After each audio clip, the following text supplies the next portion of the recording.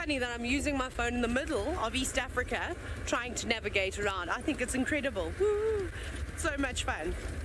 Okay, we're getting closer. We have to be much closer now. There's a couple of Thomson's gazelle around here too. Oh, is it this one? I don't know now. Maybe. I remember I was a little bit away from it when I put the.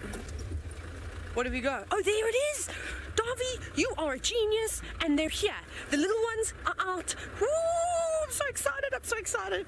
Sorry, everyone. I just I have not been at a jackal den for such a long time. The last time I found one was in the Eastern Cape with black-backed jackal. Oh, they're so cute. But I'm going to position myself nicely so you can see them. Hello, little ones. It's okay. Don't be afraid of us. Now, I'm, I'm going to try and talk as soft as I can, which is not very soft because they are little.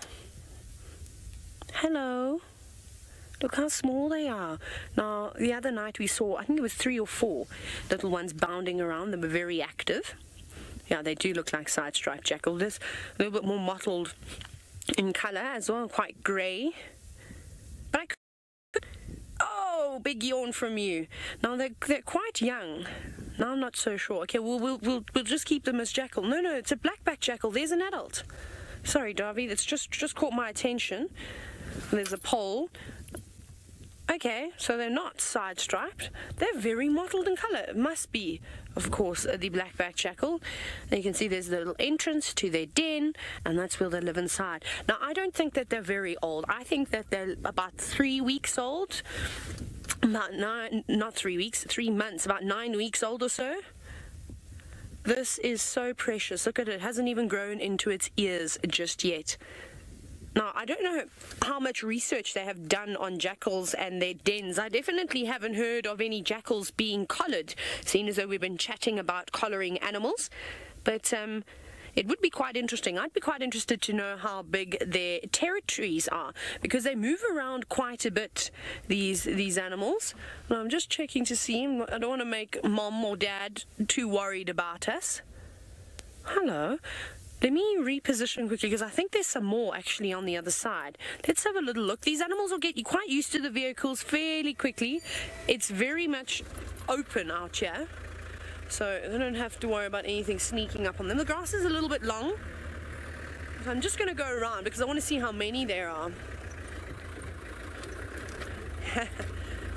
now, Stephen, you said that these jackals look like your coyotes that you have in America. Ah, I suppose they're quite similar. Remind me more of foxes, though, a combination between a fox and a coyote. I thought I'd seen another one run in here. But actually, this is quite a nice area because I'm, I'm just looking at the the net, the tunnels. Let me go back one more little bit. There's actually lots and lots of little entrances here. I wonder where the others are. They must be a little bit on the chilly side and still inside the den.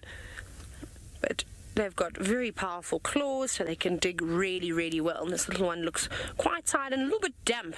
Uh, it's been sort of raining on and off right through the night. Where is your siblings?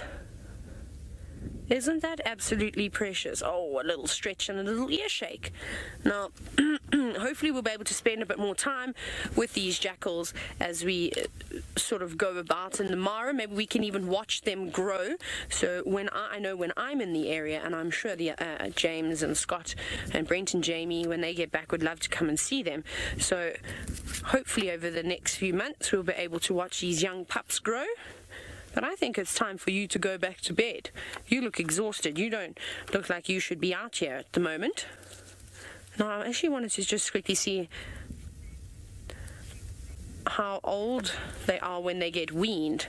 So I might have a little look in my book to see that. But we're going to stick here for a little bit longer and see what they get up to. We're going to go across to James now.